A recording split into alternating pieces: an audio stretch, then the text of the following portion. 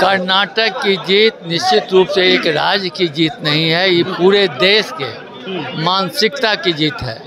हमारे नेता सम्मानीय राहुल गांधी जी, जो भारत जोड़ो यात्रा का 400 किलोमीटर का दौरा किए, उसके बाद ये पहला चुनाव था। राहुल गांधी जी ने पूरे मुस्तैदी से देश के साथ जो गड़बड़ी हो रही थी, सरकार जो गड़बड़ी कर रही थी, उसके विरोध में। जनता को अवगत कराते रहे। ठीक बात है, सच जो है, वो धीरे धीरे चलता है।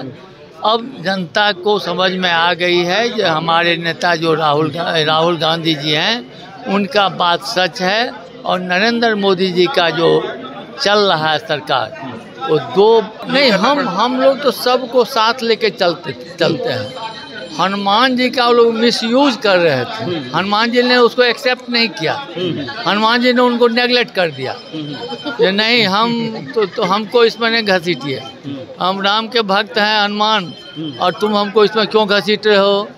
तो उन्होंने अपने ही गदा से उनको संहार किया।